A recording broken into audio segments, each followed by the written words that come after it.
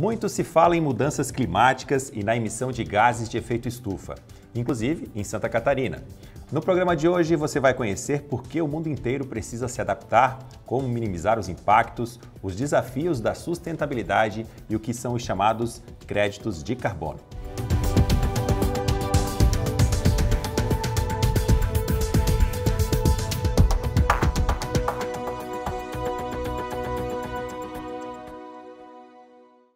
Você já ouviu falar em créditos de carbono e o que isso tem a ver com o meio ambiente? É uma forma de compensar a emissão de gases na atmosfera, que se formam a partir de atividades produtivas na indústria, na pecuária. Assim, ajuda a diminuir o impacto causado pela emissão de gases que provocam efeito estufa e aumento de temperatura do planeta. Os créditos de carbono e os caminhos de um desenvolvimento mais sustentável são o assunto de hoje no Santa Inovação, que está começando. E para conversar então com a gente, recebemos de maneira remota o senhor José Lorival Magri, que é presidente da Câmara de Meio Ambiente da Federação das Indústrias de Santa Catarina, a Fiesc. Ele também tem mais de 40 anos dedicados ao meio ambiente e é um especialista em química e poluição do ar e atualmente atua também junto ao setor privado Magri, seja muito bem-vindo ao programa Santa Inovação. Obrigado, Felipe. É um prazer estar aqui com vocês discutindo esse tema tão importante é, em termos globais, não só para Santa Catarina, mas a nível global. Verdade. Para situar, então, para quem nos assiste aqui pela TVAL, os créditos de carbono surgiram como uma compensação, é isso? O crédito de carbono, ele surgiu, tudo começou com a conferência da ONU sobre desenvolvimento sustentável lá na Rio 92, com a convenção, aonde ele, aonde nós tivemos aí é, três convenções, a convenção da biodiversidade, a convenção de combate à desertificação e a convenção das mudanças do clima. Na, em 1994, o mundo todo, através da ONU, reconheceu que o planeta estava sofrendo com ações antrópicas ações do, do, do ser humano, das atividades do, do homem, é, reconheceu que estava havendo aí mudanças é, do clima.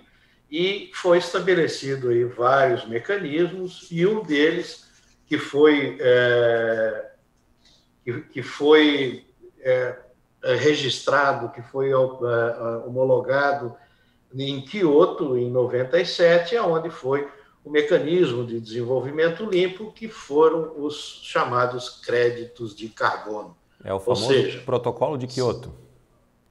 É isso aí, o famoso protocolo de Kyoto, que ele passou a, a entrar em vigência só em 2005. Tudo isso começou na Rio 92, em 1992, e depois ele, se, ele, ele, ele passou a, a estar vigente no mundo em 2005 aonde 192 países, dentre eles o Brasil, assinaram esse, essa convenção, esse protocolo, aonde foram estabelecidas metas para serem para terem reduções desses gases de efeito estufa responsáveis pelo aquecimento global, aonde países desenvolvidos é, obtiveram metas para a redução de suas emissões foram estabelecidos acordos, acordos internacionais, aonde esses países desenvolvidos eles deveriam é, reduzir as suas emissões. E os países em desenvolvimento, no caso o Brasil, poderiam oferecer projetos aonde estaríamos aí reduzindo as emissões de gases de efeito estufa. Então, o que que se, como você falou, é uma compensação. Ou seja, eu posso, eu tenho projetos, vamos citar um, um exemplo. Se eu uso, é, se eu tenho um projeto de uma unidade industrial e ela, para produzir uma unidade de um produto, ela emite X unidades de gases de efeito estufa, se eu mudo esse projeto, se eu faço um projeto, se eu, se eu mudo a tecnologia, eu faço uma tecnologia mais eficiente, aonde esse meu produto ele é produzido com uma quantidade menor, uma emissão menor, uma pegada menor de carbono, essa diferença nesse meu projeto, eu tenho isso como um crédito, certo? Então, eu posso é, comercializar esse crédito.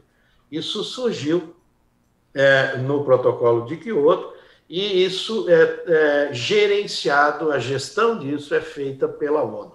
Perfeito. A gente pode colocar então como se fosse o termo é, crédito de carbono como uma moeda de troca entre os países.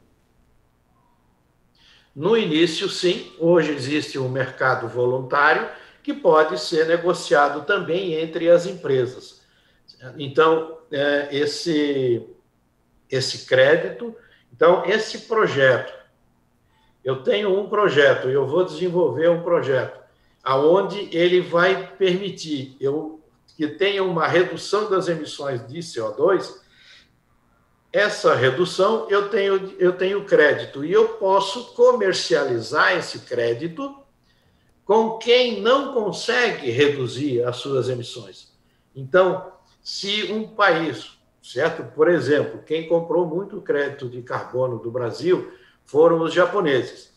Então, o, o, o Japão ele precisa atender as suas metas dentro do protocolo de Kyoto. Ele tinha que reduzir uma certa quantidade de gases de efeito estufa, do que ele se comprometeu na Convenção Clima.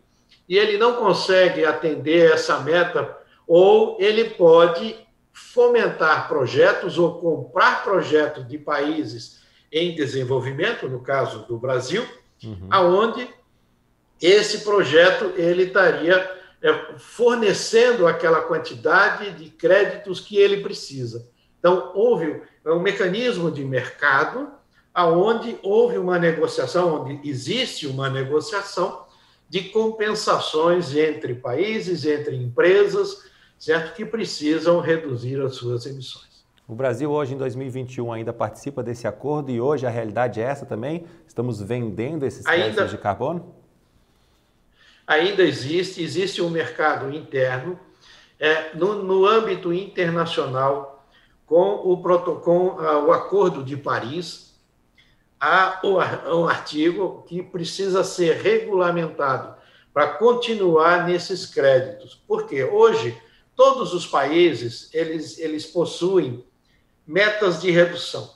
O Brasil estabele... foi lá e ofereceu as suas metas, todos os países não existe mais aquela do país desenvolvido, apenas o país em, uh, desenvolvido ter a sua redução. Mas todos os países a nível global apresentaram para a ONU, no Acordo de Paris, suas metas de redução. O Brasil é, também é, é, ofereceu as suas metas de redução. Então, tem ali várias atividades, que é acabar com o desmatamento ilegal, acabar com a a, a, as queimadas, minimizar as alterações de mudança da, do, do, solo, é, energia renovável, enfim. E tinha um também que é a questão do crédito de carbono. Então, como todos os países têm metas para redução, é, se eu tenho esse crédito aqui no Brasil, esse projeto de MDL, e eu vendo esse projeto para um país do estrangeiro para um outro país, essa quantidade é, ela deixa deixa de ser um crédito do Brasil e passa a ser um crédito de quem compra ou isso não porque isso hoje ainda não está bem regulamentado.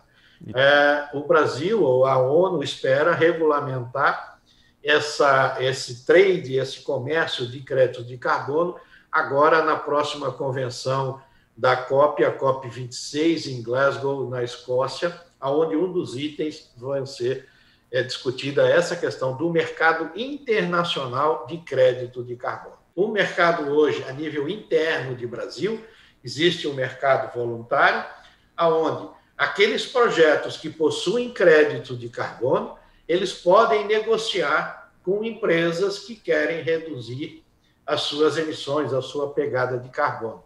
Uhum. Então, hoje existe o mecanismo do crédito de carbono. Então, por exemplo, você tem uma empresa e você, é, você durante um ano, durante um determinado tempo, as suas atividades, certo? Não é só indústria, mas qualquer atividade, ela gera uma emissão de gases de efeito estufa. E você, certo? Quer, você coloca assim, não, eu quero é, neutralizar ou eu quero compensar essas minhas emissões, certo? Então, é, como é que eu posso fazer isso? Por exemplo, você tem um carro, o seu carro ele usa gasolina. Perfeito. Se você, você emite, você roda X quilômetros por dia e você emite X toneladas de CO2. E você não, o seu carro não é flex, seu carro é só gasolina. Você, pô, o meu carro é só gasolina, mas eu queria neutralizar minhas emissões de, de, de CO2. Eu não consigo usar álcool. É, eu, eu, como é que eu faço? Você pode comprar crédito de carbono e dizer, olha, eu comprei crédito de carbono do, do projeto tal, e eu vou dizer que eu compensei, eu neutralizei as minhas emissões. Então, eu com isso, eu reduzo uhum. a minha a pegada de carbono ou a minha intensidade de carbono, é, quando eu não posso fazer na própria atividade. Uhum. Certo? Eu posso é, ir lá e, e, compensar. Então, podemos então, dizer que a gente evoluiu. É com crédito de carbono. Uhum. A gente evoluiu Sim, daquela ideia inicial lá bastante. do protocolo de Kyoto, que era só entre países. Então, por exemplo, em Santa Catarina, a nossa realidade, uma indústria catarinense ou uma empresa catarinense pode sim comprar créditos de uma outra empresa ou uma outra indústria catarinense e compensar essas emissões? Perfeito, perfeito. Então, dentro aí da sustentabilidade, das discussões da mudança do clima, o que, que, o que, que as empresas estão fazendo? Olha, ela faz o seu relatório de sustentabilidade, o seu relatório é, para os acionistas, para o mercado, e ela, nesses relatórios, ela diz quanto ela emite de CO2. Ela pode emitir gases de efeito estufa, não só CO2. É, a gente, a convenção da ONU, ela, ela convencionou, ela trouxe tudo para a mesma base. São vários gases que causam aquecimento global, mas para ter uma mesma base, é tudo referenciado em CO2. Então, por exemplo, tem uma atividade que ela faz o seu relatório para mostrar para os acionistas qual foi o desempenho econômico e o desempenho socioambiental. Nesse desempenho socioambiental, ela diz, olha, a minha atividade, ela gerou tantas toneladas de gases de efeito estufa, X quantidade de gases de efeito estufa. E eu neutralizei ou eu compensei comprando créditos de carbono da, do projeto A, B e C. Então, eu emiti tantas toneladas, mas eu comprei, eu fomentei aquele projeto que a ONU chama de Projeto de Desenvolvimento Limpo, que são os MDLs, dentro do Mecanismo de Desenvolvimento Limpo se eu tenho um carro a gasolina ou um carro flex e eu uso gasolina, existe aquele, aquela conta que já está na cabeça das pessoas, infelizmente, de que ah, eu só vou usar álcool se o preço do álcool tiver com menos de 30% o valor da diferença. Mas está esquecendo que se eu estou utilizando o álcool, eu não estou emitindo CO2. Por quê? Porque o álcool é um biocombustível, ele é renovável o CO2 que ele emite, ele é absorvido na plantação da, da, da cana. É o mesmo caso, se eu, se eu uh, queimo uh, uma, uma, um gás natural, por exemplo, vamos pegar o exemplo das cidades aonde tem aterros sanitários. Eu coloco esse aterro sanitário e esse aterro sanitário ele vai entrar em decomposição, é matéria orgânica, e vai produzir, nessa decomposição, vai produzir metano. Esse metano ele tem um potencial de aquecimento global 25 vezes superior ao CO2. Então, se eu não faço nada nesse aterro, se eu simplesmente eu permito que essa emissão seja, seja dada como metano, eu tenho uma emissão é, é, 25 vezes maior do que o CO2. Então, se eu queimo esse metano, eu estou gerando 25 vezes menos gases de efeito estufa. Isso pelo simples fato de eu queimar esse metano, que é o biogás.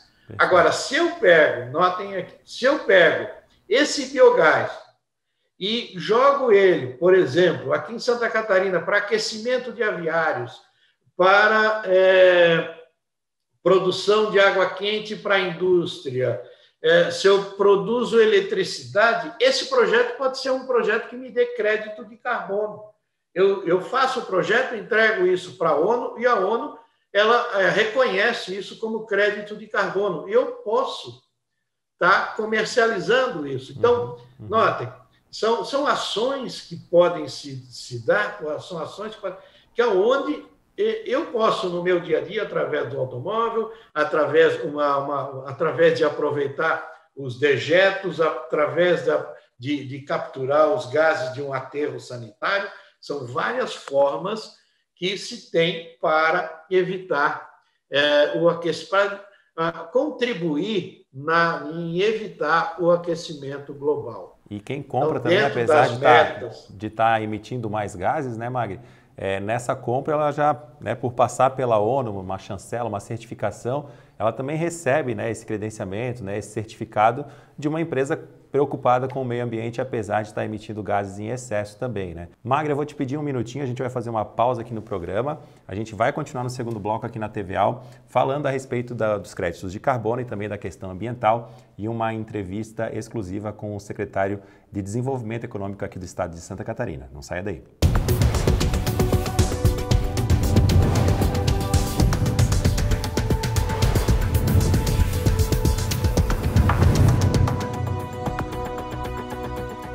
Voltamos com o programa Santa Inovação aqui pela TVA, hoje falando do assunto créditos de carbono e também a questão ambiental. E neste bloco a gente vai falar mais sobre Santa Catarina nessa questão ambiental também e, por que não, dos créditos de carbono.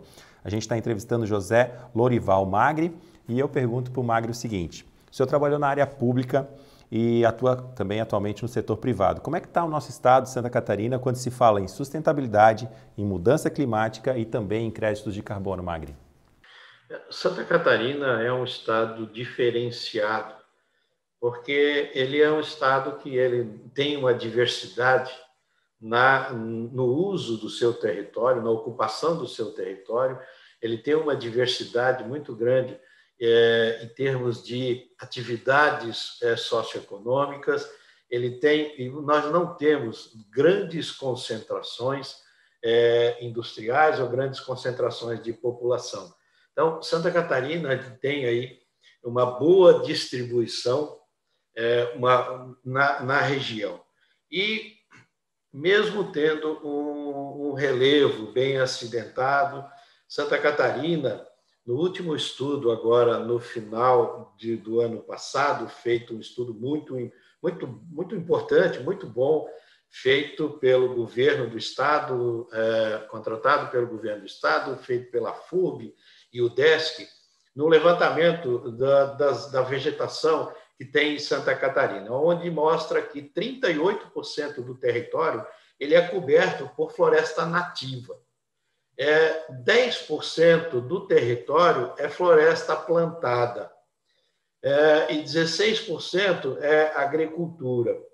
Então, nós temos aí em torno de 4 milhões, 4, quase 5 milhões de hectares, que são, no caso de mudança climática, que são absorvedores de CO2. Esse CO2 ele é absorvido pela floresta e, é, e ele fica retido, são chamados sumidouros de gases de efeito estufa. Um outro item muito importante é, como eu falei, a, a, a a, indústria, o comércio, eles estão bem diversos.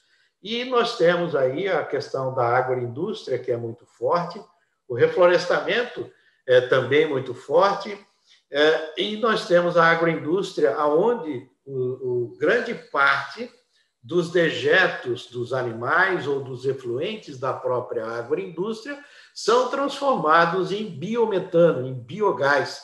Isso faz com que é, além da utilização desse biogás, desse biometano, além dessa utilização, de, de estar sendo utilizado, está dando um valor econômico para isso, que seria um gás que estaria aquecendo o planeta, ele está é, é, produzindo, fazendo parte da produção. Então, isso mostra que Santa Catarina ele está aí dentre os estados brasileiros, com exceção dos estados do norte, certo? Mas ele tem aí uma, um bom equilíbrio entre a produção econômica e a, a, a, a conservação ambiental. Só para você ter uma ideia, é, Santa Catarina ela tem aí, nós temos 7 milhões de habitantes, certo? E a média nacional de emissão de gases de efeito estufa, ela está na faixa aí de 2 toneladas, 2,2 é, é, toneladas de CO2 por habitante.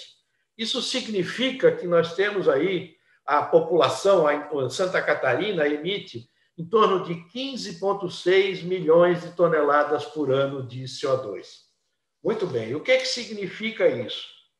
É, significa que aqueles é, 38% de mata nativa, que são os, os 3 milhões, 3,6 milhões de hectares, eles absorvem 94 milhões de toneladas por ano. Se você for ver a, a área de reflorestamento do Estado, ele absorve 25 milhões de toneladas de CO2. Então, no balanço, no balanço das emissões de emissão versus é, só levando em consideração floresta, é, de captura de CO2, o sumidouro de CO2, a captura de CO2, ela, nós temos aí 15 milhões contra quase só de floresta plantada 25 milhões.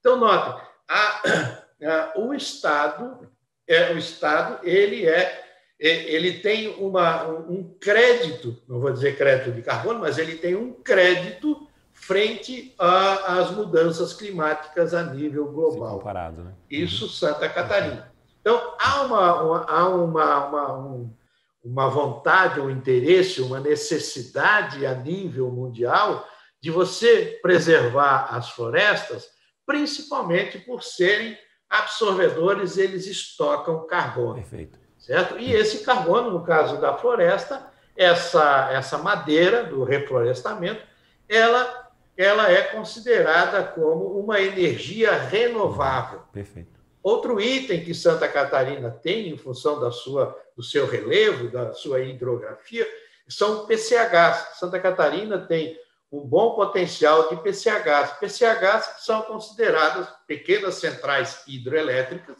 são consideradas como é, unidades geradoras de energia elétrica renováveis e são, inclusive, é, é, elegíveis em créditos de carbono. Beleza, perfeito. Se falar em elegível, vamos falar agora para o senhor eleger. É, uma ação, o senhor falou que Santa Catarina está em destaque se a gente comparar aí com as principais é, regiões do Brasil e até mesmo globais, mas tem coisas a melhorar ainda. Né? Se a gente precisasse eleger apenas uma questão a ser melhorada a curto, médio e longo prazo em Santa Catarina, de maneira objetiva, nessa questão ambiental, o que o senhor elegeria assim para os próximos anos?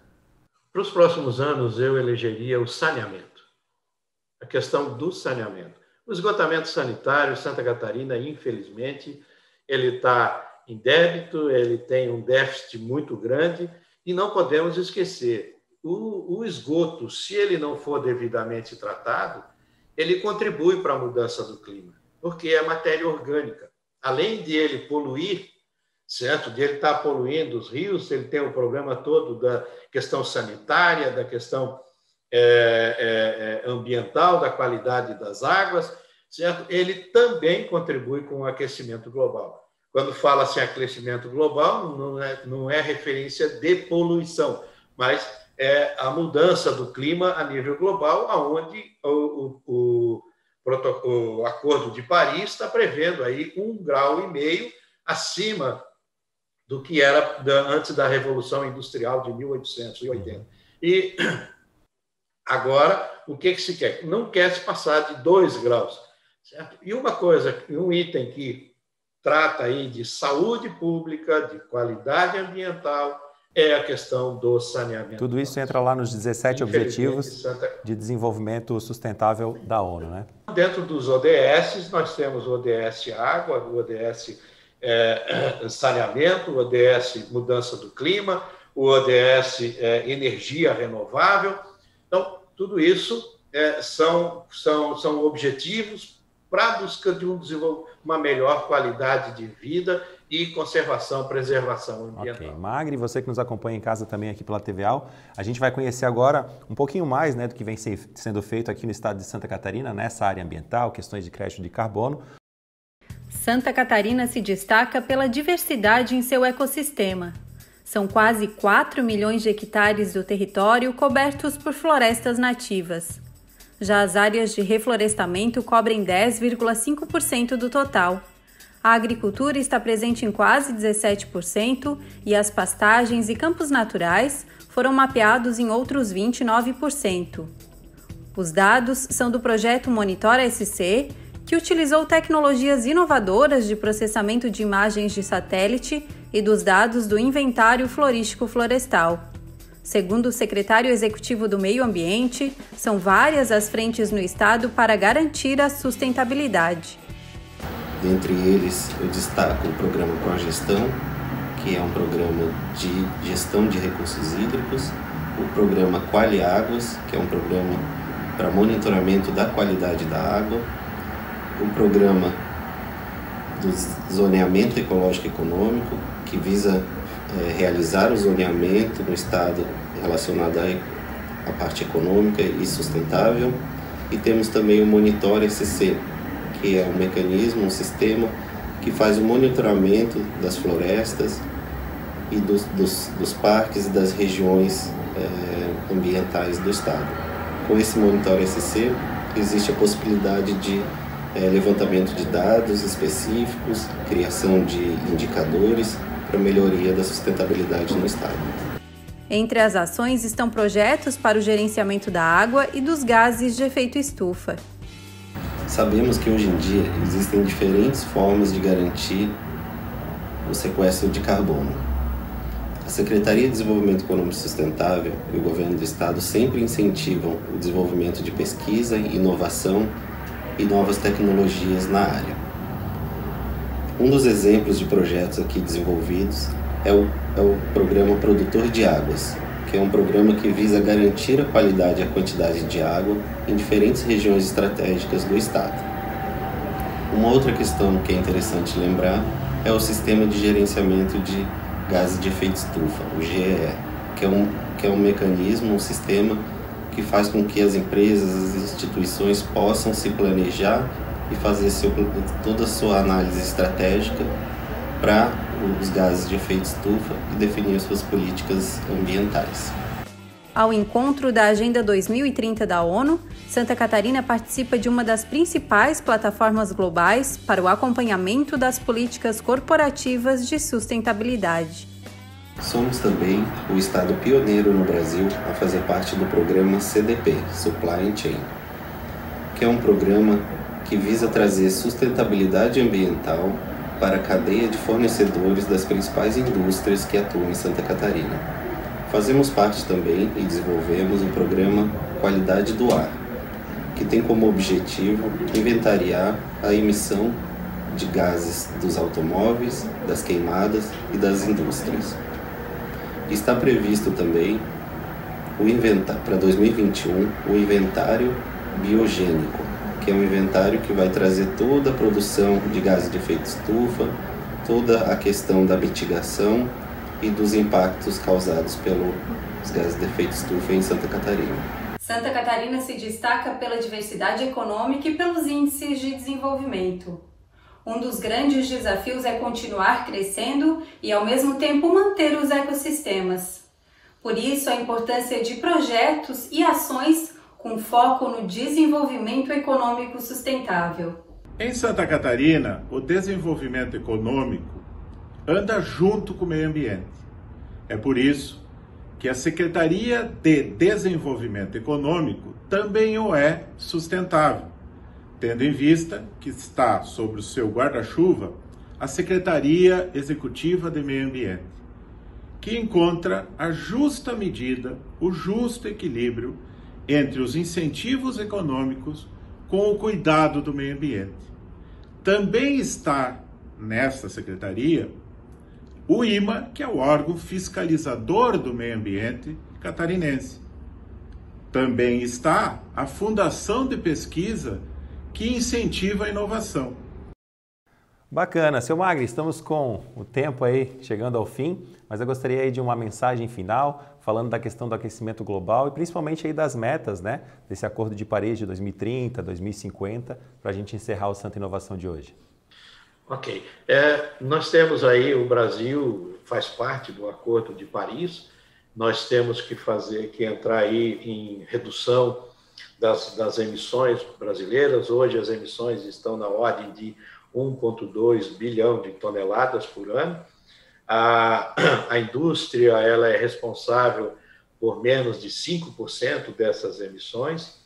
É, e no acordo, nós temos 2030, 2050, aonde em 2030 nós temos aí até 2030 que acabar com a, as queimadas e a exploração irregular e, e ilegal, é, ter aí a recuperação de mais de 13 milhões de hectares de áreas degradadas, mas a meta maior é 2050 é, ter aí não ter mais emissões de CO2 de atividades antrópicas, atividades geradas pelo ser humano, aonde essas emissões seriam todas elas neutralizadas, aonde a gente, é, a ONU e o mundo está discutindo chegar em 2050 com zero de emissões de CO2, além do que é, é, é, além do que é retido, além do que é capturado é, de forma por tecnologia ou por